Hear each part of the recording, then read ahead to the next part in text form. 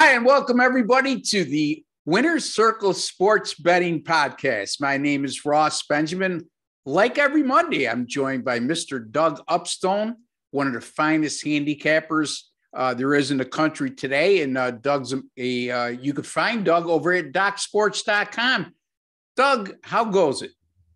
The uh, Ross, it it goes pretty good. Uh, we what do we uh, got a great week ahead of us. Um, got ten championship games in college football, uh, so, and a lot and you know a lot of things will happen in terms of potentially the playoffs, and of course you know having different conference champions, ten different conference conference champions, and let's not forget we got the the makeup game of Cal and USC.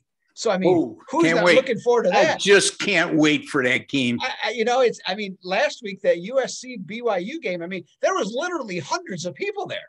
You know, I mean, yeah. forget thousands; it was hundreds. Um, so yeah, so so no, no. But eh, all kidding aside, no, it should be a fantastic week. Um, you know, a lot to talk about. Okay, yeah, absolutely. I mean, a lot, lot, of, lot, of, great matchups. Um, nothing really, nothing really bad.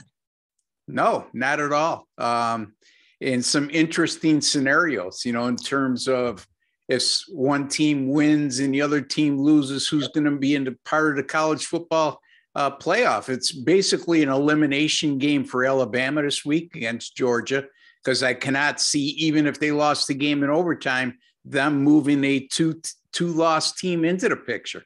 Uh, although what was the last, it happened a while ago with LSU and ended up LSU, winning the championship. But That was yep. many moons ago. That was prior to this uh, college football uh, rating system. Um, anyway, Doug, any other interesting notes that caught your eye in college football or something you want to discuss in that regard? Yeah. Well, the, you know, I mean, the one that stands out is the uh, Big Ten game because, um, you know, many were surprised Michigan uh, even would compete, let alone win against Ohio State, and they dominated them. So that was impressive. And then uh, Wisconsin folding like a tent at Minnesota to open the door for Iowa. Yeah. So you know, so the you know, the popular assumption is going to be, especially with Michigan, you know, double digit favorite over Iowa, is going to be to take Iowa. You know, because uh, you know you have the you know a team that plays tremendous defense, uh, getting that many points there's no way in the world that Michigan can even come close to replicating the emotion that they had from last Saturday. Um, I will just play devil's advocate in this way, though. Okay. I, I'm not saying you shouldn't take Iowa, but the difference in the offensive talent between the two teams is just it's tremendous. I mean, Iowa really struggles to to move the ball against better competition. I mean, you know, I mean, I, the only way they beat Nebraska last week it was because it was Nebraska. yeah, exactly. you know, they just invent ways to lose. You know what, Doug? Three and nine this year, all nine losses by eight points or fewer. I, I mean, remarkable. I mean, it's just you know, I mean, you can say they're snake bit, but they're, they're not. Okay, yeah. they just they just they just find a way to lose. And so so and iowa creates creates a lot of their own you know their defense creates a lot yes. of their own turnovers and you know changes games and you know put gets them positive field position. Uh, i'm just not i'm not all in saying that you know what iowa is a play. Okay i guess that's more. What do you think? Well i think if you look at how both teams have played down the stretch uh, cast aside even that ohio state game Michigan has been the far better team in the second half of the season. Uh, in terms of what you just alluded to, yes, Iowa is one of the best defensive teams, not only in the Big Ten, but in the country. But you know, Michigan's not too bad on that side of the ball. And in my opinion, Michigan is the more complete team. Now, the uh, the one doubt is, uh, like you touched upon as well, Doug, uh, that how uh, mentally prepared, how many mentally ready will Michigan be to play this game? I can't imagine with the opportunity to be part of the 14 playoff and winning a national championship uh, that uh, they will have a problem with emotion. Um, I know that it's a tough ask to match the emotion they had last week, but I really don't think it, the difference between beating Ohio State in Iowa at this point of the season, is night and day, Doug. You know what I mean? So right. I, they really don't have to be at a pitch level like they were last week. They just have to play good fundamental uh, football. If they don't beat themselves with takeaways or uh, giveaways, I should say, uh, they should have an excellent opportunity to not only win this game but cover it as well. So there you have it. Uh, again, we got to see the uh, line movement on this game as the week progresses. Don't forget, folks, we are taping on Monday, and uh, these games aren't till later in the week. And speaking of our free picks, Doug, we went 4 and 0 last week. Is uh, the one question well, I know that people are going to question me. I had Oklahoma State in college football, but you know, like I always say, folks, we grade these picks on a weekly basis uh, whatever the line was at the time of us recording. And last week when we recorded, Oklahoma State was a three and a half point favorite. They won by four. Sometimes those types of situations work for us, and sometimes they work against us. This time it worked for us. And Doug, uh, you were on Western Kentucky, which was a great call. They just absolutely hammered Marshall. And then in the NFL, Doug, we had Denver. I, I gave out Denver, and you gave out Green Bay. So no qualms there. There's no question marks there. Though that was two dominating wins. So good job, my friend. Same to you. You know the uh, the other thing too about you know you mentioned about Michigan and Iowa is you know Michigan besides the emotion uh, of aspect of the game is that they actually I mean they're not a lock. You know, I, I think they're going to be number two. Yeah. But if they would happen to lose this game, I think they could fall out with another loss. Oh, absolutely. So, absolutely. You know, and especially if Oklahoma State wins, uh, yeah. uh, Notre Dame's sitting on the fence, Cincinnati wins, uh, Alabama loses. I, you know, I don't think they're a lock. So they, you know, they have to play. You know, it isn't. It's not just like showing up. I mean, no. for example, Georgia can show up. Georgia's going to the playoffs. Okay. Yes. But now they have bigger ambitions, but you know, still they're in. I don't think Michigan's a lock. So if they don't bring it, at least to a certain level, even if it's 25, 24, they win. As long as they win, they're good. Yeah. The only lock about Michigan in that game, in my opinion, is if they lose, they're out. Eh, I, I don't, I just, again, similar to the Alabama scenario, how could you put a two team or two loss team in the 14 playoffs this season, which such uh, it seems like six, six, seven teams have been bunched up. Uh, going, it could go either way for any one of them going down the stretch. So I think uh, common sense will prevail, Doug, and uh, we'll leave the politics out of it. And if you if you have two losses, you're out. And there's a reason why I say that because Jim Delany in the Big Ten always seems to have a stronger word than everybody else. That's just my opinion. Don't forget, folks, if you have not subscribed to our YouTube channel, please take a second to do so. Costs you absolutely nothing. And you have the luxury of what you saw last week a 4 and 0 sweep with our free picks. Doug, you have a free pick for us in college football on the Sun Belt Championship game on Friday night, and I can't wait to hear it. Actually, it's for us. That game's actually going to be on Saturday afternoon. Okay. Sorry about sorry. that. Yeah, no, no problem. That's the ESPN. That's the you're thinking Conference USA. Yes, that's, that's, what I was thinking. thinking. Thank yep, you. Yep. So, and on that one, so we have a rematch of this year and the two previous Sun Belt championships, Appalachian State and Louisiana. Uh, for the last year's game was canceled, so that's why you know there was the Sun Belt was canceled, so that why the uh, that game was not played. Now Appalachian State has won the two previous uh, championships since they uh, instituted having a title game back in 2018 and 19, and both of those games were in Booth, Boone, North Carolina, which is their home. That's where they knocked off Louisiana.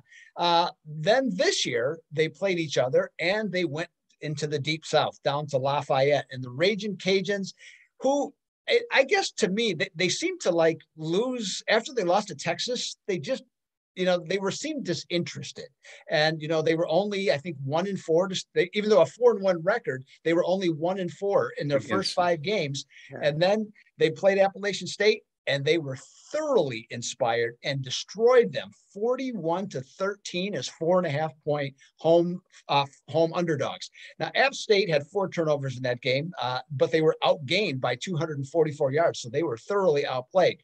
Now, the line has moved to Louisiana at plus three, even though they're still again at home. And you know what? A strong case can be made for Appalachian State because they are better on offense, they are better on defense, and they have the revenge angle coming into this one.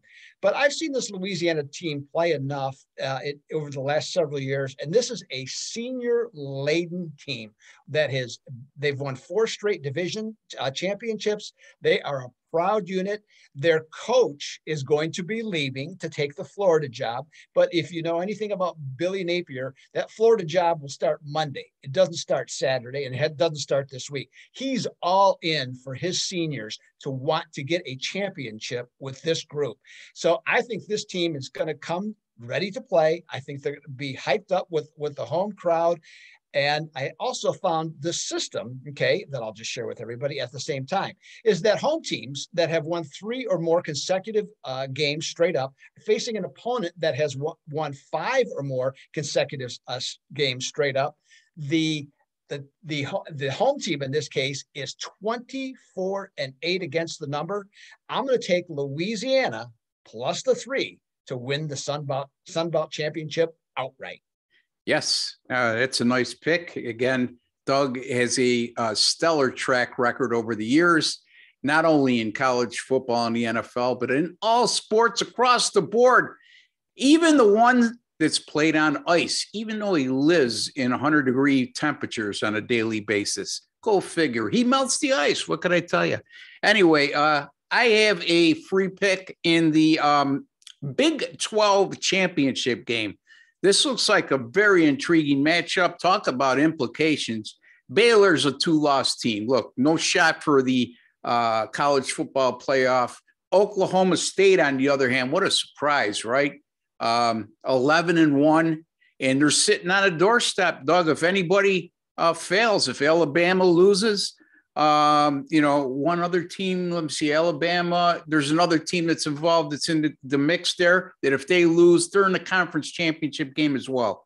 Help me out, Doug. Number three and number four. Well, uh, we got, got well, Alabama and uh, Cincinnati as well. Yes. Know, okay. Any of those, you know, if, if, yes, if Cincinnati's playing Houston. That's no gimme. So no. You know, anyway, make a long story short, I'm going to look at the total in this game, which is 47. Doug, you got two of the best defenses not only in the Big 12, but in the country. And uh, statistically speaking, Oklahoma State, number three in total defense, number one in sacks, number one in third down defense, holding opponents to a conversion rate of 24.7%. When I heard that on the game Saturday, uh, I couldn't believe it. And then I had to look it up for myself. And number five in scoring at 16.4 points per game. Baylor, on the other hand, not too bad themselves Number 17 in scoring at 19.4 points per game. Uh, over their last three games, the Baylor Bears have allowed just 16 points and 303 yards per game. Um, and all three of those games went under the total. That's the last three Baylor games, all going under with a combined average of only 40.7 points scored per game. These teams met earlier this season, and Oklahoma, Oklahoma State uh, prevailed 24 to 14, much to my chagrin at that time. But my point is that game stayed well under the total. And also, uh, Oklahoma State held Baylor to a season low 280 yards in that contest. I think you know where I'm going with this, folks. I'm going Baylor, Oklahoma State under the total of 47. That's Baylor, Oklahoma State under the total of 47. Oklahoma State looked so good last week, Doug that the Oklahoma coach, Lincoln Riley, says, I'm leaving. I'm leaving. I can't believe I lost Oklahoma State. The uh, no, well, the you know, that was a tremendous game, by the way. Uh, yes. You know, and, and really went back and forth, and, and it was it was a fun and entertaining game. But yeah, I, I well, the I you know Lincoln Riley, I think that he, he sees the writing on the wall for what's going to happen with Oklahoma, and I think he can more control his own personal destiny by going to USC. And you know, there's still a lot of assets there, and uh, and he, as it turns out, he's also bringing some new assets that had si- had signed up to go to Oklahoma that are you know really top flight players that are going to end up going to USC. So his rebuilding process will uh, it, it probably come along a little quicker than maybe some people would think. Uh, so we'll see what happens there. I, you know, US, USC is a pretty uh, obviously it's an elite job as well. Oklahoma, we'll see what they end up with. They haven't always hired the best coaches, as we've seen. Thinking of John Blake is one name that comes to mind yeah, yeah. right off the top. So you know, well, so we'll see how that plays out.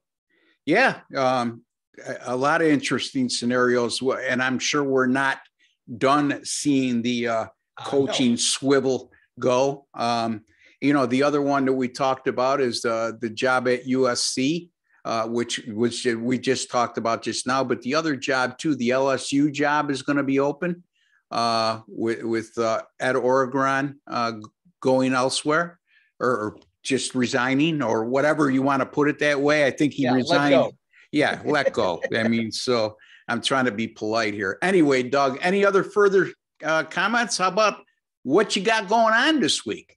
Well, with college football, obviously we got lots of championship games, and you know I have had a winning record each of the last two years in conference championship games. So I'm going to try and make it three years in a row, and so those my selections will be available at Doc Sports. That's the Doug Upstone page at Doc Sports, and we'll try and do it up again, Ross. Sounds good. You can find Doug again at docsports.com. Uh, Docs is one of the longest uh, tenured sports handicapping services in the nation. And uh, there's a reason for that. You know, longevity to me speaks volumes. A lot of great handicappers over at docsports.com. You can find me at rbwins.com. Folks, I told you I was going to turn things around. Uh, four and one in college football on Saturday. Uh, that makes me uh, 18 and six the last four Saturdays in college football. Overall run of 22 and nine in college football. By the way, too, folks, how about a five and one day in the NFL yesterday? So uh, things are looking good. I'm getting red hot, and you know, uh, Doug, when you get hot and you feel it, you want people to get on on the ground floor, not wait till you're up to 52 and 21 get in when it's 22 and 9 there's a lot of money to be made and uh, uh, surely uh, you can make some money with me and doug upstone. So until the next time folks for doug and ross we like to wish each and every one of you all the very best